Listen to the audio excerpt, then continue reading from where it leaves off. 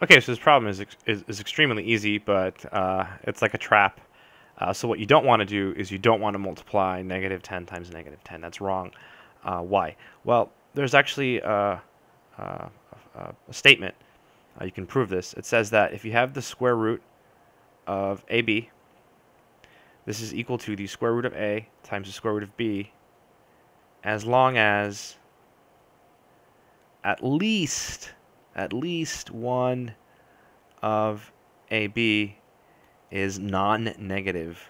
Uh, so what does that mean? That basically means that if these are both negative, you can't multiply. At least one of them has to be positive or zero.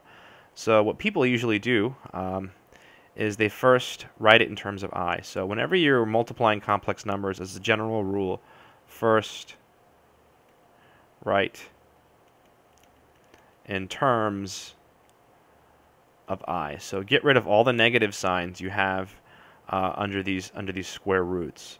So the first piece is just going to be i square root 10, right? And then the second piece is i square root 10.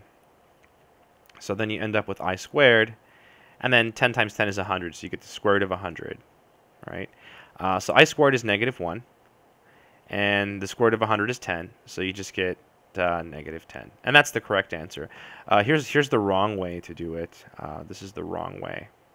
So the wrong way is to say the square root of negative 10 times the square root of negative 10 is the square root of 100, which is 10. This is, this is super wrong. So this is super, super wrong. So, so don't do that. So as a general rule, whenever you have uh, negative signs in your square roots, always get rid of them by by doing this, right? They they turn into i's. Uh, that's the way to go, and that way you won't get it wrong.